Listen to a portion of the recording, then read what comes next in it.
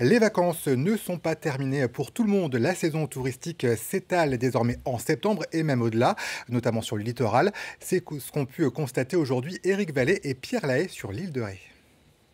Le marché du bois plage part un beau matin de septembre. Lorsqu'on voit l'affluence, difficile de penser pourtant que la haute saison est terminée, car ils sont nombreux à avoir sauté sur l'occasion pour un séjour sur l'île. En premier lieu, les aînés. Alors pourquoi septembre?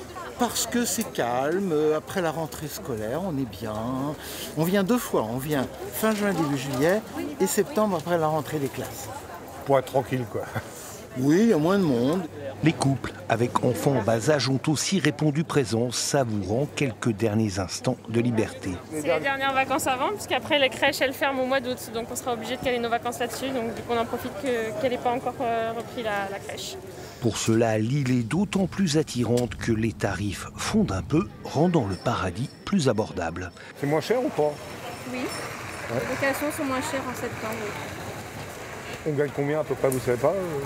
Euh, À peu près sur une semaine à 600 euros, on gagne la moitié de la somme. Résultat, bien des structures affichent complet, comme ce camping de la Couarde, où la clientèle vient de tous les horizons. On va dire presque 30% allemand, 10% anglais et euh, un peu d'hollandais. Et après, c'est les Français, bien sûr, avec leur camping-car. Les pistes cyclables, elles, sont encore largement remplies, au point que certains ont du mal à s'y retrouver. Et une moitié dit qu'il faut aller par ici et l'autre par là. Hier, c'est dimanche, il y a encore beaucoup de monde, mais aujourd'hui, euh, je suis surpris d'avoir autant de monde. Ouais. Et les terrasses des restaurants du port de Saint-Martin demeurent bondées, en attendant peut-être un changement de temps.